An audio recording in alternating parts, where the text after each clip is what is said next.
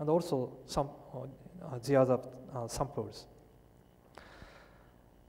The quality method, uh, they are defined or categorized uh, mainly in nine, uh, nine parts. One is a discussion and talk, a survey analysis, uh, implementation model and guideline, and measurement, testing, modeling, uh, quality control or quality engineering techniques, and also problem solving method. Almost uh, 100 items is listed in this uh, standard. And also, uh, metrics uh, uh, categorize uh, this kind of main, main part. One is the function metrics. next is the element metrics. The third is the attribution metrics. And the last is the scale metrics.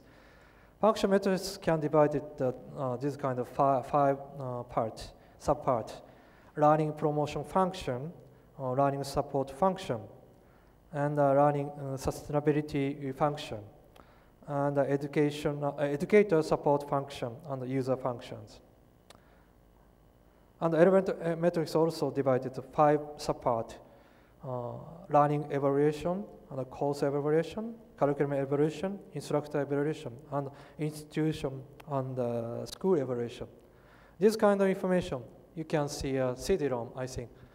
Uh, I'm not sure, but uh, I, I submitted to the uh, organization committee, so maybe you can see the, uh, my, uh, my papers.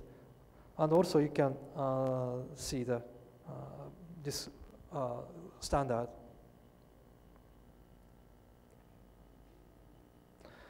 This kind of information is easy to define how do we uh, designed to know, in improve the, their uh, quality or so on.